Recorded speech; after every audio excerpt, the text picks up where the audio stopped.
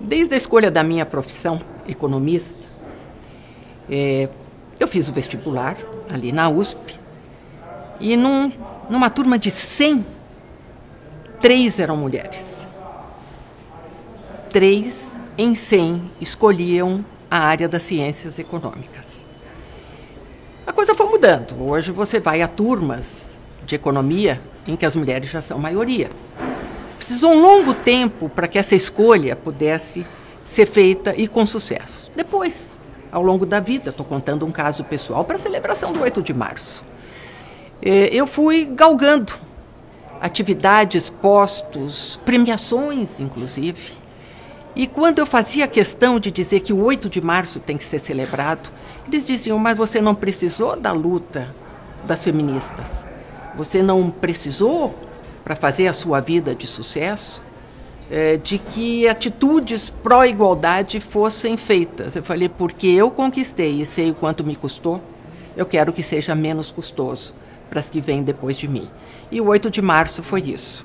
O 8 de março foi um movimento na data em que foram queimadas mulheres que reclamavam que tinham que ter uma jornada de trabalho menor porque tinham filhos para cuidar, tinham uma casa para cuidar. Então, o 8 de março, ele é simbolicamente uma data muito importante.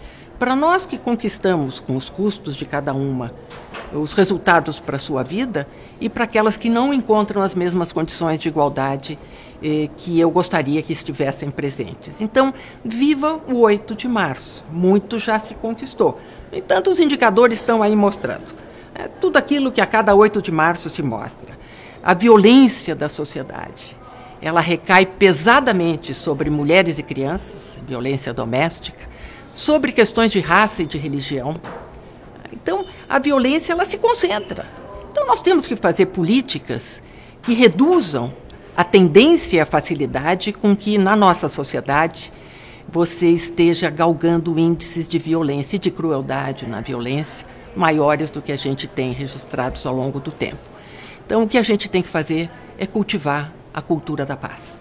E na cultura da paz, nós temos que ter políticas de educação, políticas de saúde, políticas de meio ambiente, políticas de agricultura que permitam que, em condições de acesso igual para a mulher e para o homem, eh, em condições de acesso igual, a sociedade não fique produzindo as perversidades que recentemente a gente tem visto.